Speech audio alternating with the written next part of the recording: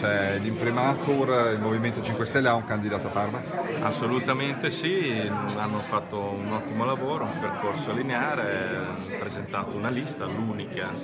che è stata consegnata allo staff, quindi abbiamo letto di polemiche ma non, non c'era nulla di, di, di, di, reale, quindi non, non c'è mai stata la possibilità di avere un candidato diverso da Daniele che già ringraziamo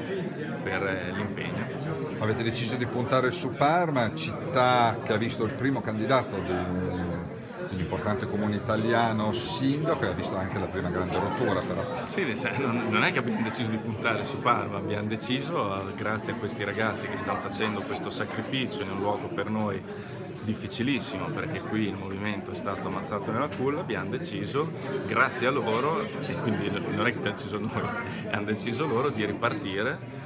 e con grande umiltà si riparte sapendo che non ripartiamo da zero, ripartiamo da meno 10. Quindi qui qualsiasi risultato si otterrà grazie a questi ragazzi e a questo impegno, come movimento tutto dobbiamo solo essergli grati.